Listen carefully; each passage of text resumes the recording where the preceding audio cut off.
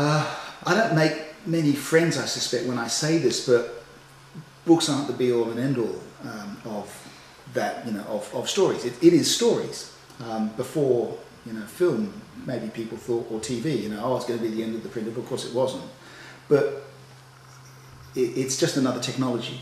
It's been a very successful technology, you know, paper and, and ink and binding and so forth.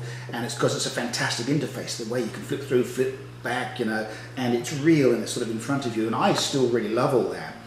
But I'm a bit of a dinosaur, and I know that my own kids now have no problem at all, you know, doing the same thing on a screen. And you can almost sort of flip backwards and forwards with these various, you know, new technologies that are being developed.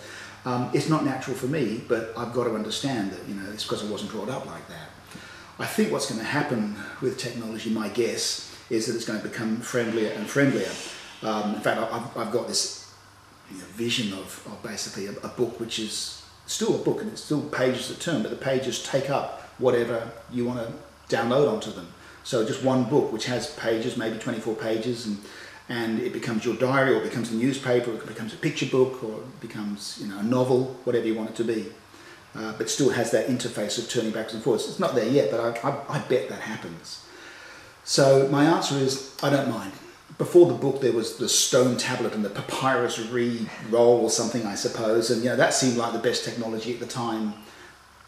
And when it's when books have had their time, well, they'll fade away, and something else better will take their place, and it'll be better.